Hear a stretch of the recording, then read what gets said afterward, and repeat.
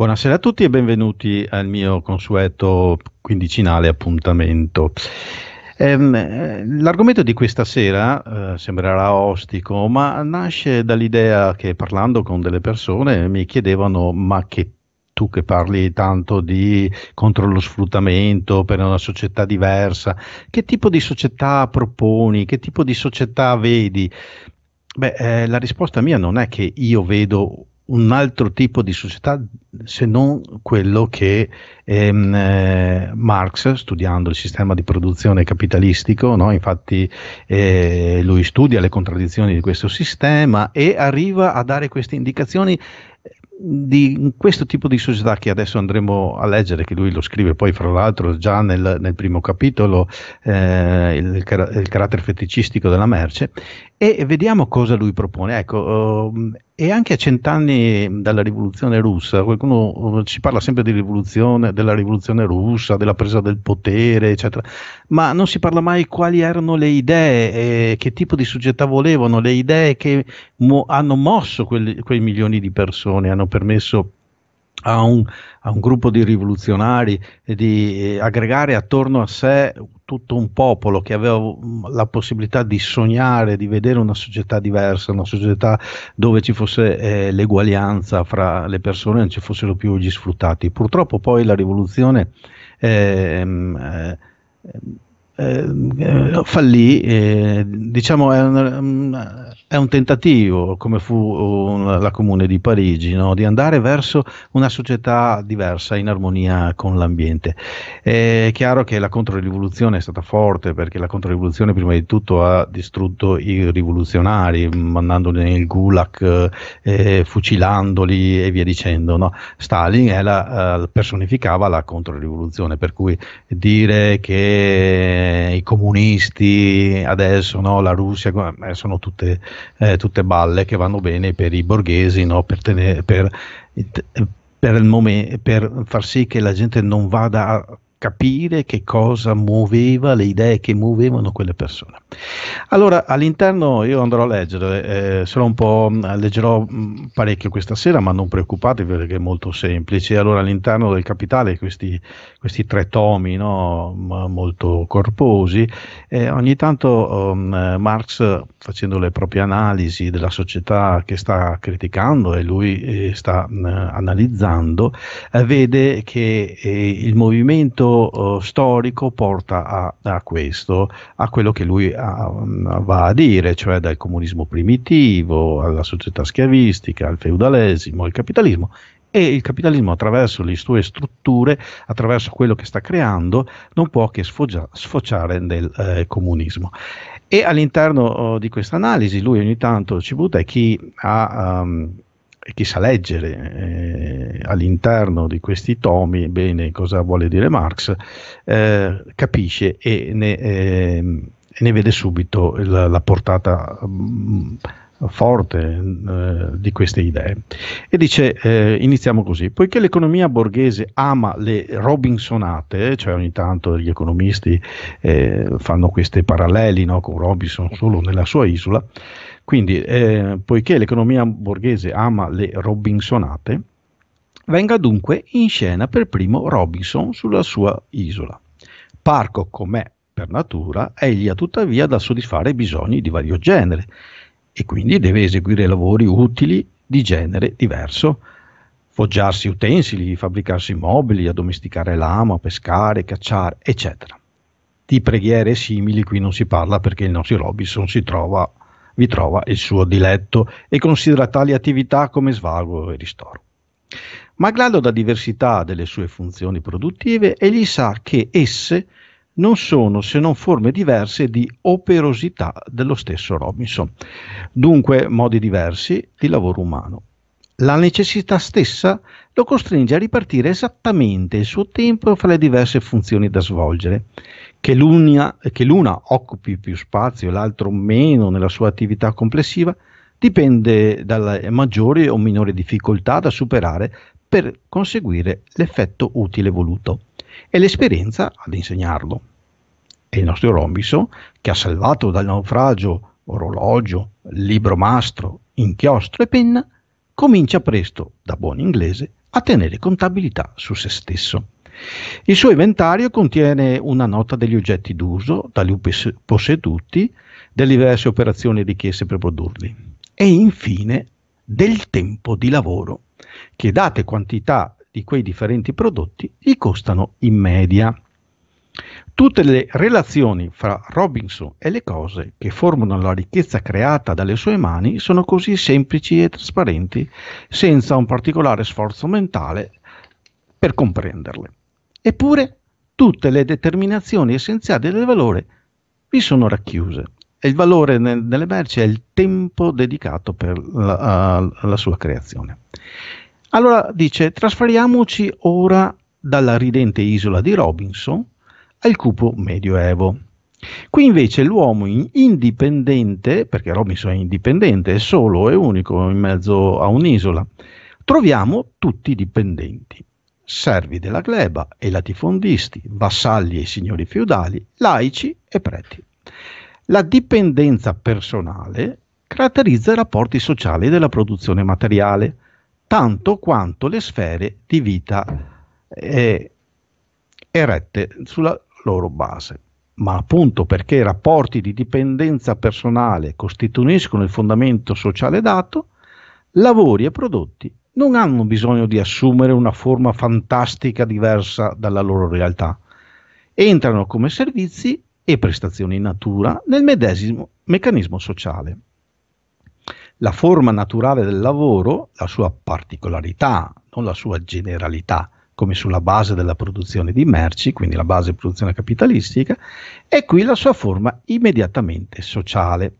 La corvée è misurata mediante il tempo esattamente come il lavoro produttore di merci, ma ogni servo della gleba sa che quella che spende al servizio del padrone è una quantità data della propria forza lavoro personale.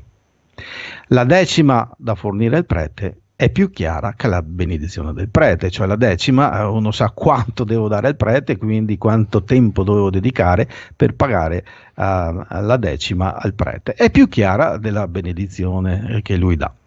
Comunque si giudichino le maschere con cui gli uomini si presentano l'uno di fronte all'altro su questo palcoscenico, in ogni caso i rapporti sociali fra le persone nei loro lavori, lavori appaiono quindi come loro rapporti propri, personali, e non travestiti da rapporti sociali tra le cose, fra i prodotti del lavoro. E quindi parte da Robinson produzione individuale alla società feudale che è una produzione sociale, ma di tipo dipendente e qui eh, per forza di cose vi devo rimandare eh, a voi che studiate un po' come era sviluppata la società feudale.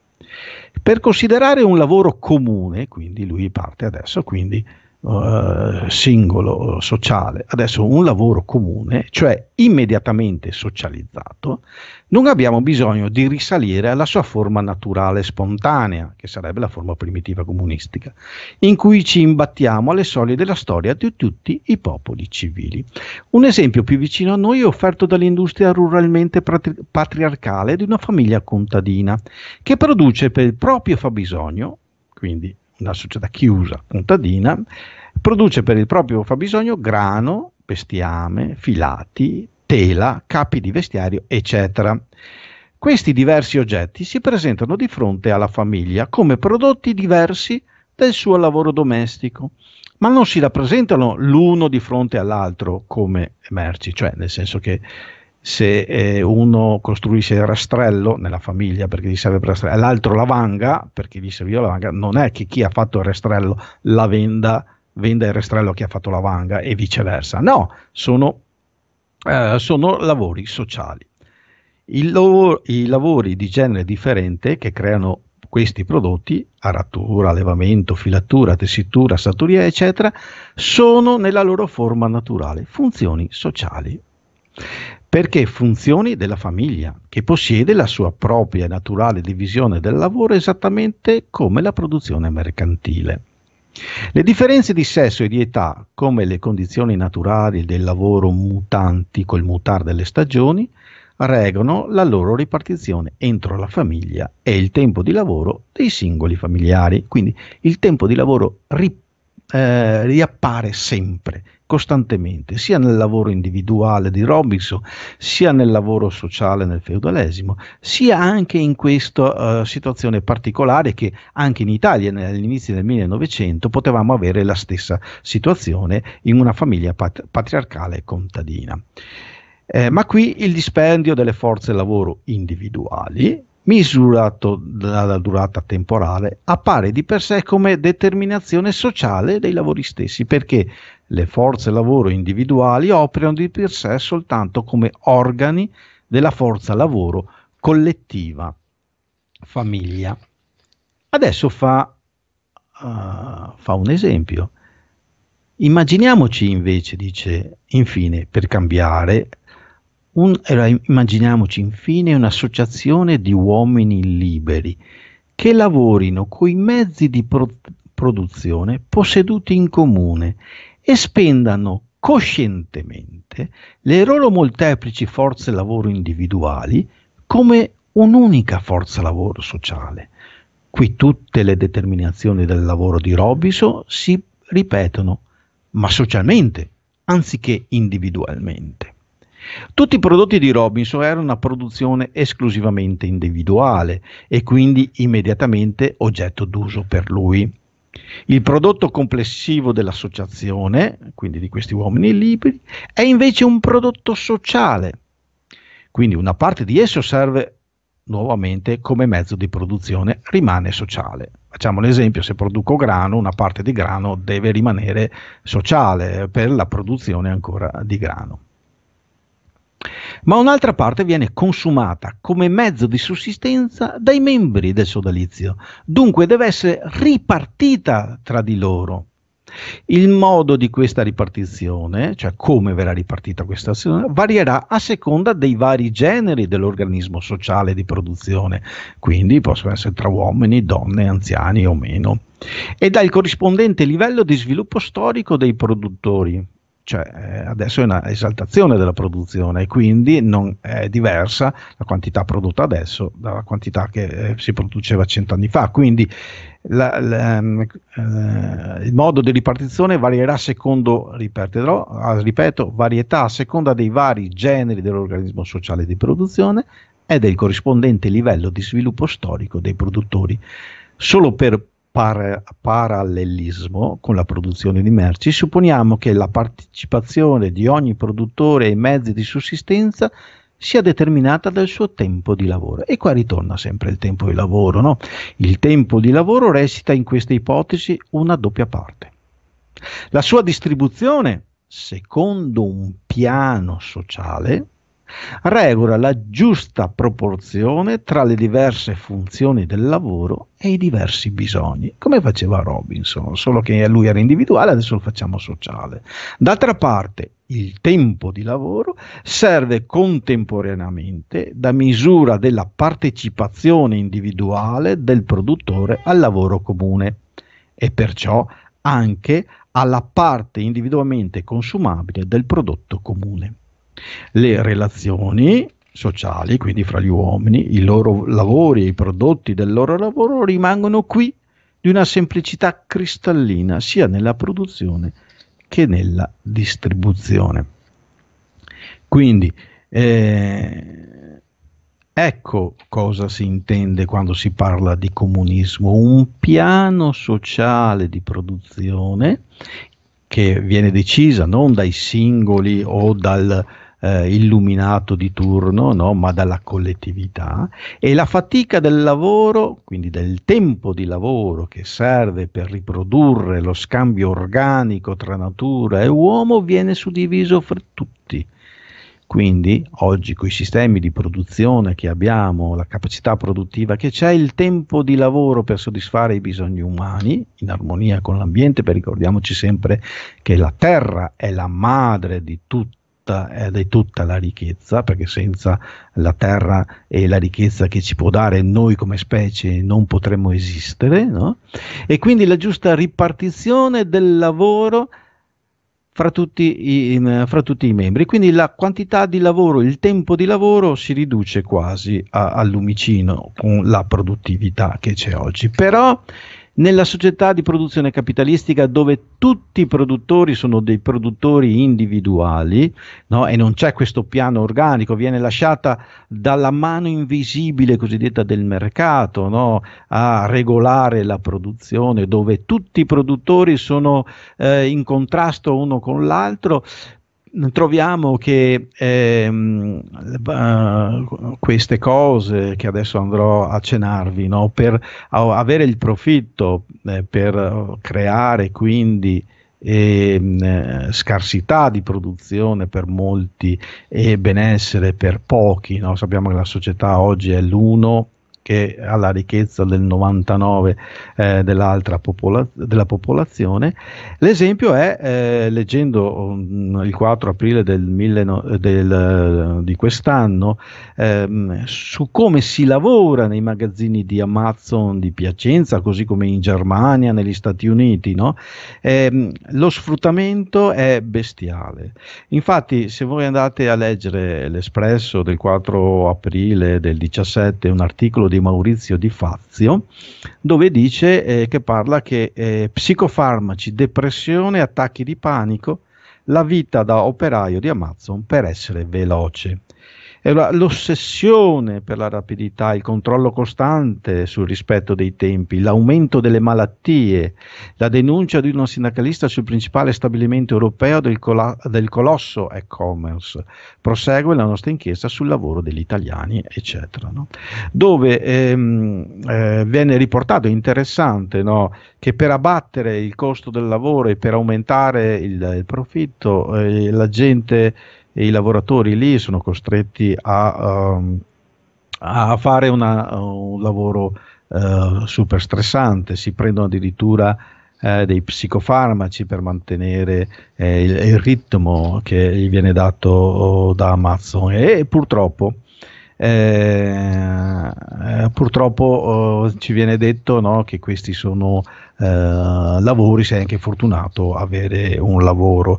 Ma un altro esempio, un altro esempio um, della fabbrica della, um, eh, dei supermercati, no? che la gente viene assunta non dai supermercati ma dalle cooperative. Dalle cooperative che lavorano um, uh, da mezzanotte fino all'alba, cioè tutta la notte per farci trovare a noi i prodotti eh, sui scaffali del, um, eh, del, supermercato. E questa inchiesta è eh, sul venerdì, venerdì di Repubblica del 13 ottobre, dove si dice gli schiavi che lavorano da mezzanotte all'alba. Schiavi che lavorano dalla mezzanotte all'alba eh, spesso stranieri, lavorano di notte, prendono 5,16 ripeto 5 euro 16 centesimi all'ora lordi.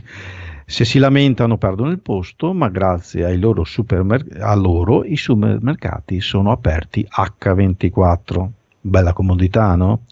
C'è un momento della notte impressionato, impre- imprecisato, ma non per questo meno inesorabile, in cui i supermercati romani si sincronizzano sul fuso di Manila, al Carrefour di Tor Vergata, periferia meridionale della metropoli, succede a mezzanotte, chiudono le porte alla clientela, ma la spalancano a una squadra di sei filippini dai 20 ai 30 anni, piccoli di statura ma instancabili, che sgattano taiolano dentro in una maglietta rossa aziendale per farli sembrare ciò che non sono. In quello di Viale Ciamarra, aperto H24, ne trovi altri chini sulle carcasse dei bancali che hanno appena liberato dal cellophane a estrarre tonno, biscotti, tonno e sapone liquido per lavastoviglie da sistemare, ognuno sul suo posto. Ne avvicino uno, ne avvicino un paio e via dicendo. Bene, ehm, come, si, eh, come è facile no, capire ehm, eh, dov'è lo, lo, sfruttamento? Questi prendono 5,16 euro all'ora. Bene, questi 5,16 euro eh, all'ora sono esattamente per un turno, dice 4 ore ne, ne fa 20, lo, cioè, cioè um, 5,16 euro dice la busta paga che ho davanti agli occhi quindi questo è il giornalista che documenta, che per un turno di 4 ore ne fanno 20 lordi, con i quali, sì e no, si potranno comprare i barattoli e le scatolette che sistemano in un minuto. Ecco eh, da dove è dato il, eh, il plus valore. Il plus valore è dato dal plus lavoro, cioè lavoriamo di più di quanto ci viene eh, dato ehm, per, eh, per, la nostra uh, busta paga. Quindi in un minuto loro si pagano eh, il lavoro di un'ora. Bene, moltiplicatelo per eh, 22 milioni di lavoratori e vedete quante migliaia di ore di lavoro noi regaliamo alla collettività, alle persone che eh, non fanno assolutamente niente, banchieri, finanzieri, che sono che fai eh, niente nel senso che non producono ricchezza, no? Tra, eh, intesa non nella società capitalistica la ricchezza come denaro, ma non producono niente materialmente, no? a tutti quei ciarlatani politici eh, politicanti e parolai che vivono no, sul lavoro degli altri. Ecco, um, e poi sono quelli che ti fanno la Job Act, che ti aumentano i ritmi e ti, in questo aumentano i ritmi e i carichi di lavoro. Però voglio finire eh, in questo caso dire eh, alcune cose. Una cosa soprattutto eh, è interessante, noi non possiamo eh, rimanere a a qui a, semplicemente a denunciare queste cose che sono un po' all'occhio di tutti, tutti lo, lo, possono vedere. Noi dobbiamo iniziare a fare rete, perché altrimenti queste cose, se siamo fortunati che non siamo dentro questo giro eh, di, del supersfruttamento, però sono i nostri figli che non trovano lavoro o, o potremmo ricadere anche noi. Allora o facciamo, eh, le organizzazioni sindacali oggi, eh, per esempio, parlo del della CGL ha costruito anche lei un organo, cioè tramite web, no? si chiama, eh, adesso non, non, mi viene a mente, ma che vuole eh, raggruppare i lavoratori, ah, si chiama NIDIL, nuova identità di lavoro, no? una struttura per organizzare i lavoratori in, somministra- eh, in somministrazione a quelli atipici. Bene, ma eh, le organizzazioni sindacali non escono, queste almeno, non escono dalla logica della compet- compatibilità del mercato, compatibilità dell'azienda, quindi se l'azienda è in crisi non si può chiedere di più, se, la, ehm, eh, se eh, l'azienda è in difficoltà non si può chiedere perché bisogna essere concorrenziali, bisogna correre, bisogna essere i primi della classe, no? ma queste organizzazioni sindacali non vedono o non vogliono vedere il, tutta, ehm, tutta la ricchezza che viene creata. Le rivendicazioni devono essere fatte fatte per i bisogni dei lavoratori, per la difendere il lavoro, non per essere accodati ai bisogni aziendali o nazionali. Ecco, quindi eh, noi dobbiamo iniziare a fare rete. Io eh, aspetto, spero che qualcuno eh, inizi anche a mandare eh, dei, dei messaggi alla radio che è ben lieta di di accoglierle e eh, magari raccontiamo anche di queste storie brutte no, che succedono sul mondo del lavoro, ma raccontiamo storie non fini a se stesse, ma uh, storie per aggregare. Grazie a tutti eh, per avermi eh, ascoltato e ci sentiamo fra 15 giorni. Ciao!